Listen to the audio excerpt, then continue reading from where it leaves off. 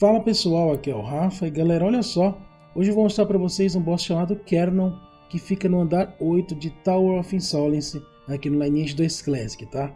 Novamente aqui ele é um boss que precisa de bastante gente para poder quebrar os escudos, tá? Como eu falei nos outros vídeos, a gente precisa dar 500 hits em 15 segundos para poder quebrar o escudo, tá? Fora isso, um tanque para os minions e um tanque para o boss é suficiente, tá? Caso você tenha bastante summoners, não precisa de tanque beleza? Ele é um boss level 80 e ele dropa grade A. Aqui no caso ele dropou 6 Magical Tablets e um Dark Crystal Helmet. Vou deixar rolando aqui o resto da gameplay. Vou ficando por aqui, é isso aí, valeu, tchau!